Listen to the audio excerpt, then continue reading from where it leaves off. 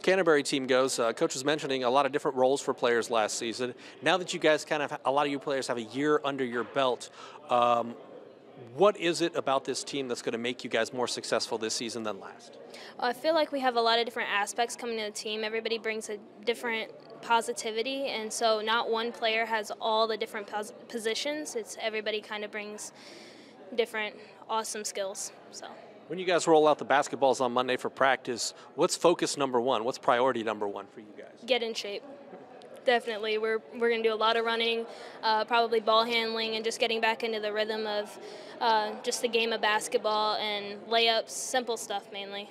Yeah. Do you, do you feel like you guys are ahead of where you were at this point last year based on the fact that you've got some more experience, uh, Lilly's got more experience, obviously Mason's got another year under her belt. You feel like you guys are kind of maybe steps ahead of where you were at this point last year? Yeah, definitely. We have a, a lot of different juniors this year too, so we we have a lot of experience to the team. Uh, all of us were here when Darby was here, so um, there are seven juniors, so we'll definitely have more experience this year than we did last year. Um, I definitely think we have a lot of girls who are ready to step up and take bigger roles on the team, especially a lot of junior girls who didn't get as much playing time last year. Um, we're definitely going to be better ball handlers this year and just uh, a more well rounded team. When you guys roll out the balls on Monday, what is the focus for you guys in practice from day one? I think we're going to really focus on moving the ball well and quickly and getting up and down the court and just focusing on our defense, just all around. I think there are little things we all need to improve on to make it work this year. Uh, what was the key to improving from game one to the final game last season for you guys? What was like the, the, the really big thing that uh, you guys learned, I guess, during that process that's going to allow you to thrive this year?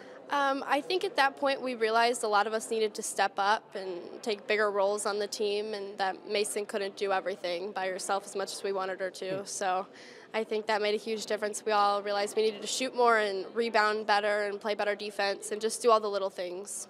What do you take away from last season that these girls can use and apply to this season to take the, the program even a step further than what you did last year? Experience.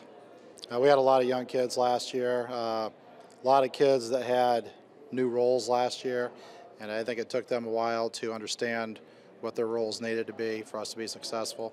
So that was kind of a progression all year that we, you know, talked, worked on that every day in practice, just getting them a little more comfortable. Uh, I think a lot of those girls were not comfortable handling the basketball.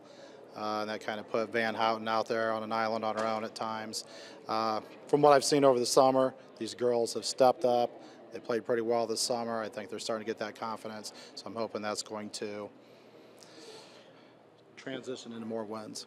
Where where are you in terms of personnel? Did Alexa she graduated? Alexa Habig graduated. Okay, yeah. so where are you in terms of obviously you have Mason coming back. Where are you in terms of personnel relative to last season? Uh, Mason will probably be our only returning senior, so we'll still be relatively young. Uh, we got a big junior class. Uh, last year we started Elena Rongo. She was a freshman last year. Uh, she's gotten a little bigger, a little stronger this year. Uh, Sydney Hearn, she was a sophomore, started last year. Uh, played JV the year before. I think she's starting to understand her role better. Uh, Lilly Peters, who was a sophomore. I mean, Lilly's, even though she was on the state team that went to state two years ago, she's still relatively young. Mm-hmm. But again, like her role changed, you know she kind of on that team was just stand out there, catch and shoot. Well, now you know we need her to get more involved in the game, and uh, she's adjusting that well. When you guys roll out the balls on Monday, what is priority number one for Canterbury? Uh, one of the things we talked about last year that we knew we definitely had to get better at was defense.